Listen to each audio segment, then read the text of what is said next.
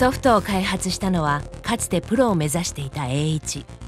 友達できそうか？友達を作りに行ってるわけじゃないから。負けました。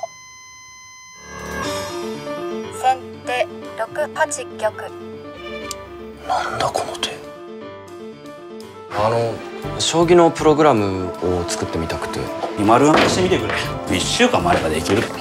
定石なんかにとらわれない自由な手を指すんだ動いた。そんなプログラムを育てることができたら将棋をやめたことにも意味があるかもって。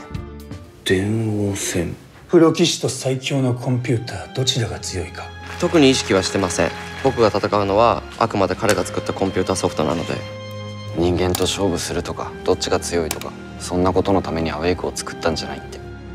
だけどたまらなく勝負してみたくなった。いよいよこの日がやってきてしまいました。アウェイクは強いよプロ将棋の歴史を変えてしまうくらい。もし今のままこの手を刺されたらアベイクのプロ負けは目に見えてる。